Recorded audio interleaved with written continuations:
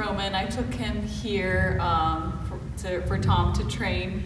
I'm very happy with how he did. Um, I took my other one here, we were so happy with how our other one did that we brought Roman as well. Um, they both have some leash issues, wanting to pull me um, and reactive with other dogs, but um, our other one's great now, and I'm sure Roman will be too. It's amazing the transformation that I see so already. So I'm very excited, and Tom's been there for me when I needed him.